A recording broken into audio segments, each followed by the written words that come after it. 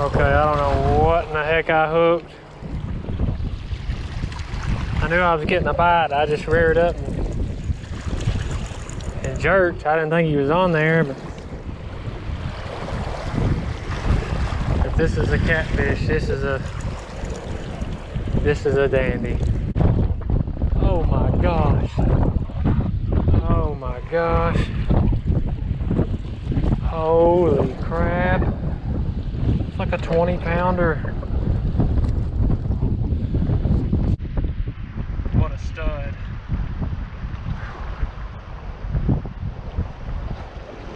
That is a good one.